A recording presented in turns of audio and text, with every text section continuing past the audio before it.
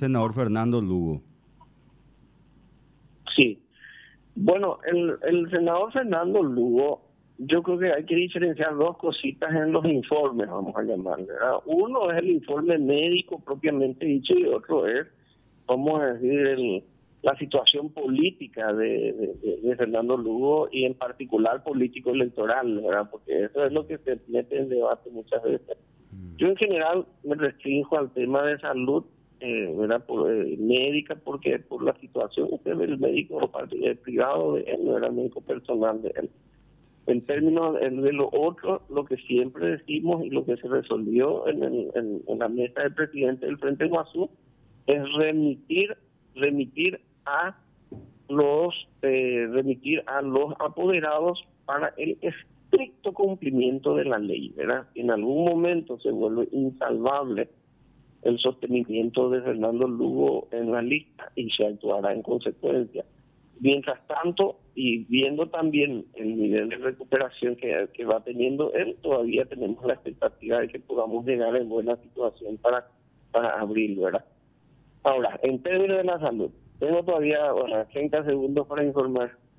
Sí, sí, sí, claro, claro, te escuchamos. Bueno, entonces, en términos de la salud en concreto, yo estuve el fin de semana, ¿verdad? De, viernes a lunes estuve por, la clínica Pleni, allá, el centro de rehabilitación, un centro muy lindo, hecho de pasos. Yo en realidad personalmente no conocía, fuera del conocimiento, vamos a decir, profesional que tengo, ¿verdad? de las referencias que tengo, ¿verdad? centros muy, muy, muy buenos de rehabilitación integral de pacientes de tipo, ¿verdad? Bueno, y el, presidente, el, senador Lugo, básicamente, y lo voy a hacer en, los términos más sencillos posibles, ¿verdad? En términos motrices, él mueve los cuatro miembros, ¿verdad? Eh, dio los primeros pasos, ayudado por terceros, pero ya está dando los primeros pasos, ¿verdad? Dentro de lo que es el ejercicio de rehabilitación desde el punto de vista respiratorio, eh, desde hace 10 días está sin respirador. ¿Sí? Sí, la cánula de tracostomía entre ayer y el lunes el plan era sacarle la cánula de tracostomía, que era una garantía, vamos a decir, de mantener el sistema respiratorio protegido, ¿verdad? Y con una valvulita fonatoria se llama para que él hable, ¿verdad? Mm. Eh, entonces, el punto de vista respiratorio está sin respirador, Sí, lógicamente, cuando hace el ejercicio se, se agita más de lo común, pero eso es normal. Acuérdate que estuvo dos meses en respirador, eso no es poca cosa, eso se te atrofian todos los músculos, es decir, hay muchas cosas ahí que, que rehabilitar. Y desde el punto de vista neurológico, eh, él, en primer lugar, está despierto, ¿sí?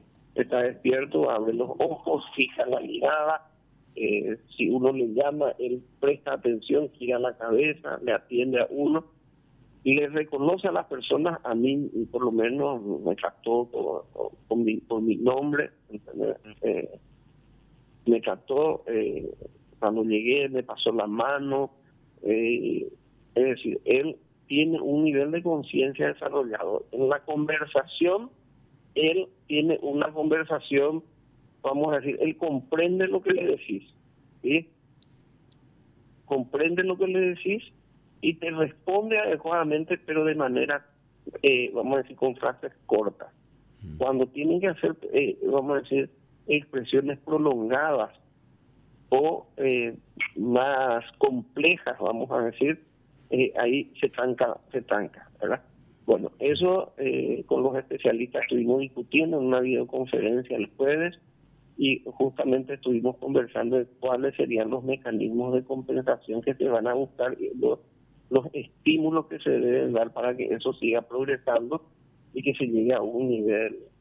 Médicamente para nosotros, yo te voy a decir una cosa, en cualquier circunstancia, un paciente que, que se haya salvado la vida, que esté despierto, que tenga un buen nivel de conciencia y que tenga un aceptable nivel de comunicación es un éxito médico.